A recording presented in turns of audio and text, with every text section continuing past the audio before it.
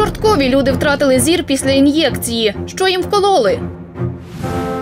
Депутати обласної ради направили звернення щодо заборони московського патріархату в Україні та розірвання договору оренди лаври. Що кажуть представники УПЦ? Пісня Зупиніть війну у виконанні Макара Лишака з Микулинців набрала понад 2,5 мільйони переглядів у Тіктоці. Відколи 47-річному Оресту Зрайчику зробили ін'єкції в очі, а минуло більше місяця. Каже, в перші дні після процедури нічого не бачив. Зараз розрізняє силуети та кольори. Бачиш, де твоя щітка тут є. Ну, зараз дошукав. А вона чорна, а вона йшов. Ореста Зрайчика цукровий діабет. Через хворобу в чоловіка погіршився зір, тому звернулися до офтальмолога. Лікувався в Чортківській міській лікарні. Там минулого року Оресту зробили дві ін'єкції в очі, каже його дружина Галина. За її словами, після цих процедур побічних ефектів не було. Було покращення. Лікарка мені показувала е, результати ОКТ сітківки, порівнювала, щоб я бачила, що прогрес відбувається. 16 лютого цього року Оресту зробили третю ін'єкцію. Тоді стан здоров'я різко погіршився, каже чоловік. Обидва вже ока ріжуть, обидва дивитися неможливо на них. Як називається препарат? Вона казала Авастин. Це зі слів. Я не бачила, не купляла сама. Я просто їй платила гроші 2 тисячі за одну ін'єкцію в одне око. І нам нас вели в операційну. Все. Документів не підписували ніяких. До часткової втрати зору Орест Зрайчик працював водієм на фермерському господарстві. На комбайні їздив 20 років. Зараз працювати не може, водити власну автівку теж. Все, поїздів вже. Не віджу, та й все. Того ж дня робили ін'єкцію 80-річному Михайлу Мамчуру. Це було четверте введення препарату, розповідає син Михайла Олег Мамчур. За його словами, зараз батько нічого не бачить. Ще от коли сиджу, так ніби чуть-чуть і краще. А як лягаю, і все, чорне все.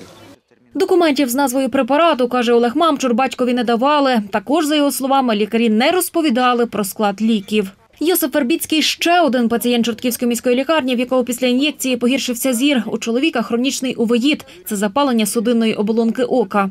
На протязі року два-три рази я сюди все приходжу, і мене колять під очі, капають в очі і таке.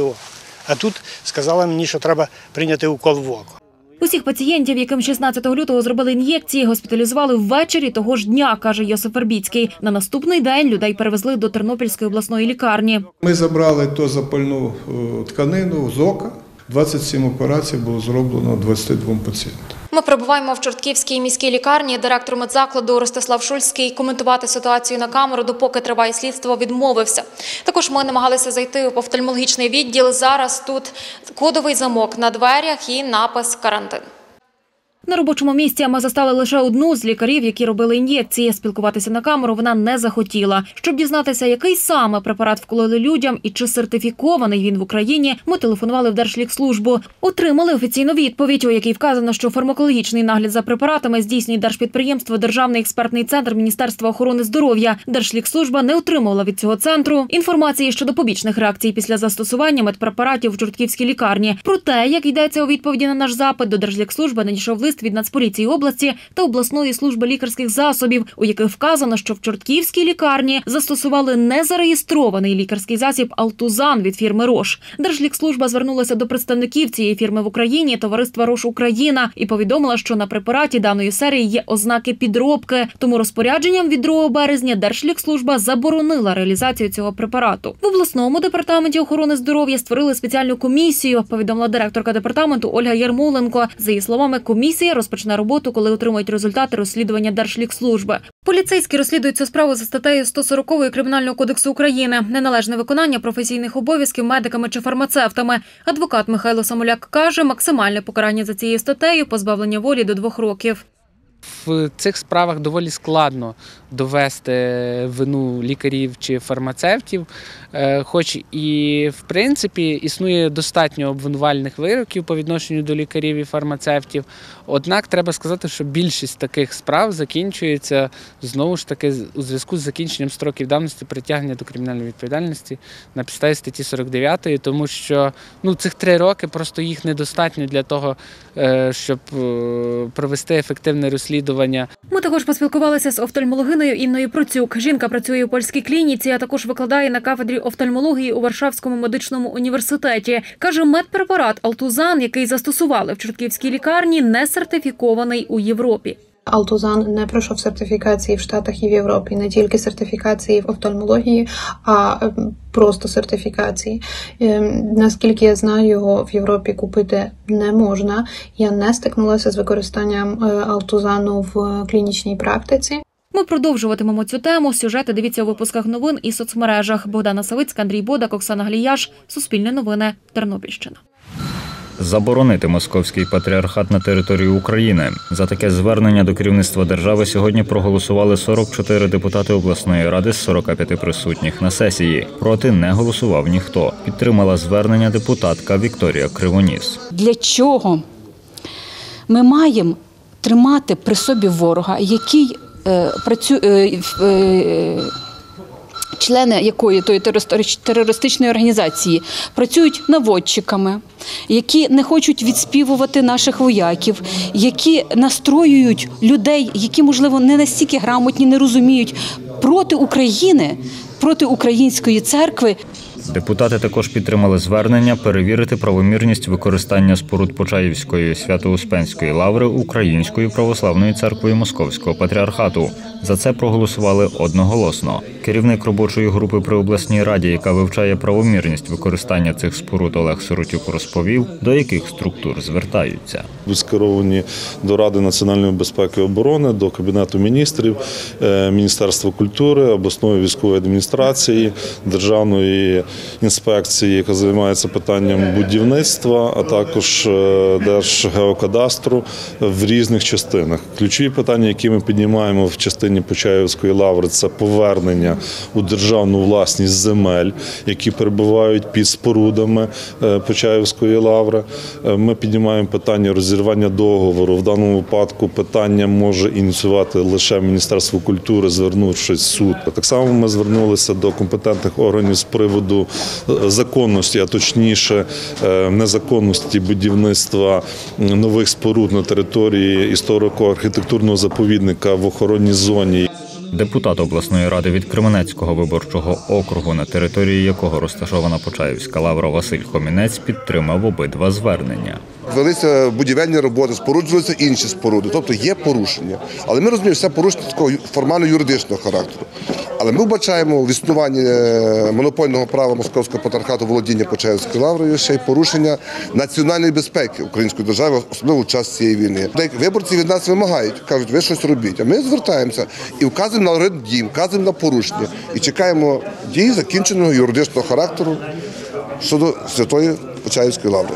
Секретар Тернопільської єпархії Української православної церкви Стефан Балан прокоментував ці звернення так. влади проти нашої церкви. Хто зацікавлений розділяти українське суспільство, український народ? На чому це базується? Ті якісь невеличкі маленькі факти, той відсоток, де щось знаходиться напроти того, що в інших структурах є невеличкий відсоток, і з ними потрібно окремо розбиратися. Взагалі церква, українська православна церква не має ніякого зв'язку з московським патріархатом, а такий де бруд, така неправда. Тарас Бурак, Оксана Галіяш, Суспільне новини, Тернопіль. У Чортківській громаді в трьох дітей виявили кір. Це учні гімназії, розповіла генеральна директорка обласного центру контролю хвороб Оксана Чайчук. За її словами, члени комісії з надзвичайних ситуацій затвердили план ліквідації спалаху. Двоє з одного класу і одна дитина з іншого класу. Комісія техногенно-екологічної безпеки при Чортківській міській раді, де прийнято відповідне рішення і затверджено план е, ліквідації вогнищ. Е, Що до цього входить? Це входить е, це огляд, щоденний огляд на протязі 21 дня всіх контактних дітей, а їх є 450 в гімназії, а також їхніх працівників. Визначення е, вакцинального статусу кожної дитини, яка навчається в школі, це, це вже проведено. Проведення заключної дезінфекції у всіх приміщеннях школи це вже проведено. Проводиться далі підобстеження і підрозслідування для того, щоб виявити джерело, звідки розпочався цей спалах. Ми маємо кілька версій, але ми поки що їх не озвучуємо, тому що поки це ще дані е, дуже такі свіжі. Ем, Як буде все відомо, тоді ми будемо ем, говорити про це. Міський голова Чорткова Володимир Шматько каже, медики спілкувалися із батьками дітей. Вони розповіли, що діти вакциновані. Щодо е, їхнього стану перебігу, то в старшому класі, в 9 стан е, легкої форми проходить, оскільки в них є дві, дві е, дози вакцини. Дитина, яка е, в другому класі мала одну дозу вакцини, знову ж таки зі слів батьків. Володимир Шматько каже, класи, в яких вчаться діти, перевели на онлайн навчання. Ці класи відправлені в дистанційне навчання. Сьогодні е, делегація лікарів, 10 лікарів е, проводили детальне обстеження дітей у гімназії. Ознаків, е, скарг е, не виявлено. За словами Оксани Чайчук, спалах кору в нашій області востаннє був 4 роки тому. Чим небезпечний кір? Кір тим, що е, е, передається дуже швидко, і навіть коли людина напряму не контактує з хворим кором, але знаходиться в тому приміщенні, де попередньо перебував такий хворий, вона має дуже великий шанс заразитися кором. Макар та його старша сестра Софія йдуть на гурток вокалу в Миколинецький будинок культури. Хлопчик відвідує його тричі на тиждень. Керівниця вокального гуртка Надія Бігун розповідає, Макар наймолодший відвідувач занять у будинку культури. Йому 6 років. І власне з ним працювати дуже легко через те, що те, що ми вивчаємо на уроці, він завжди закріпляє вдома. І часом навіть більше, навіть часом він приходить вже повністю готовий, і ми буквально так декілька уроків взяли одну пісню, потім зразу другу, зразу третю. Він дуже швидко вчиться, дуже швидко все вивчає і багато співає вдома. Надія Бігун каже, Макар слідкує за популярними піснями в Тіктоці. Якщо пісня сподобається йому, він одразу її вчить. Була в мене пайова машина, я ж її продала. Пісню Зупиніть війну Макар виконав на заході до Дня Героїв Небесної Сотні. Відео з виступом в мережі TikTok опублікувала його бабуся Ольга Пакіш, і за два дні воно набрало 2 мільйони переглядів. Милі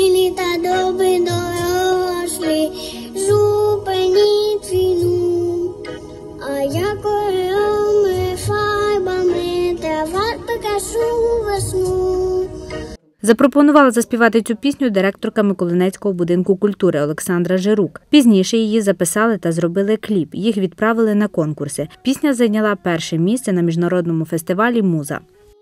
Олександра Жирук каже, що у сім'ї Макара люблять співати. Сестра з п'яти років виступає з піснями на місцевих концертах. Батько музикант, бабуся Ольга Пакіш, учасниця народного аматорського хору Барвінок, а також бібліотекарка місцевої книгозбірні.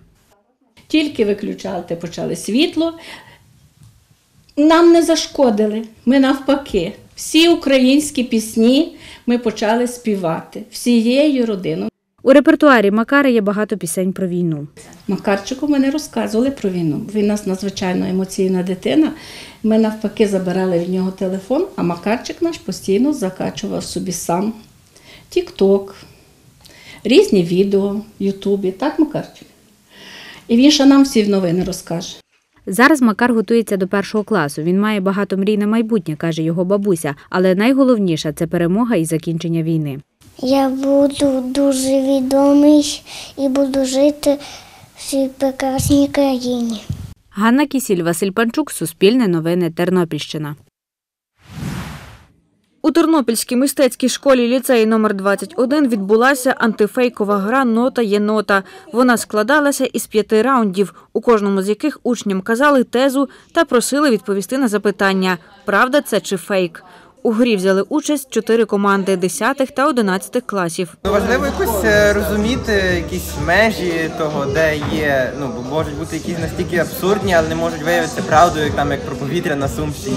Ми неправильно дали відповідь, але виявилося, що це такий е, маркетинговий хід. Переможцями стали учасники команди Цибуля ведмежа Зелена. Вони кажуть, виграли завдяки злагодженості. Якщо і беремо участь, то всі разом. Так, не було суперечок. Е, ну, Знаєте, ми, е, ми ходимо на малювання разом, то нам не привикати в такому складі працювати. То... Мета гри розвинути критичне мислення та навчити школярів медіаграмотності, каже психологиня Тернопільської спеціалізованої мистецької школи ліцею номер 21 Наталія Космина. Е, Сьогодні наші діти показали високий рівень критичного мислення, показали, що вони орієнтуються в інформаційній війні, яка відбувається сьогодні. Зоряна Биндес, Лілія Лобур, Суспільне новини, Тернопіль.